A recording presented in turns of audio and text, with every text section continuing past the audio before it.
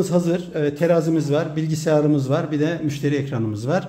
Cihazımız içinde ağırlığı koyduk. Burada ağırlığımızı görüyoruz ama aynı ağırlığı tuşa bastığımız andan itibaren bilgisayar ekranda da görüyoruz. 220 gram olduğu, 1 kilosunun 25 TL olduğu ve 220 gramın karşılığının 5,5 TL olduğunu burada görüyorum. İlk ürün olduğu için iki rakam birbirine eşit. Şimdi ikinci ürüne geçiyorum. İkinci üründe de ürüne bastığımda bana toplam bu 776 gram olduğunu, kilo fiyatının 50 TL olduğunu, ürünün adının ne olduğunu görebiliyorum.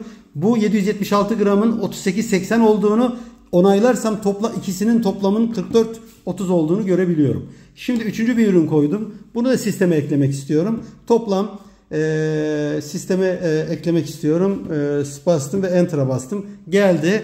Bir daha satmak istiyorum. Rakamı arttırmak istiyorum. Şimdi bitir dediğimde bana direkt nakit deyip bitirebilirim. Son derece kolay bitirebilirim. Direkt kredi kartı diyebilirim. Veya dolar veya euro kasasını seçebilirim. Zaten aşağıda çevirdi bize. Bunun toplamının 167.7 TL olduğunu, dolar karşılığının 7.99 olduğunu, euro karşılığının 7.62 olduğunu görüyorum. Şimdi 1 euro alayım.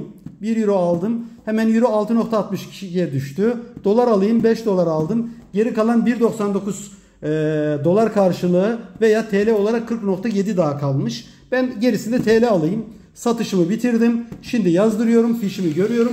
Fişimde de ne kadarın euro olduğunu, ne kadarın dolar olduğunu artık e, ürünlerin e, detaylarını görebiliyorum fişimde. İşlemi bitirmiş olduk. Bu detaya girmeden de işlemi bitirebilirdik.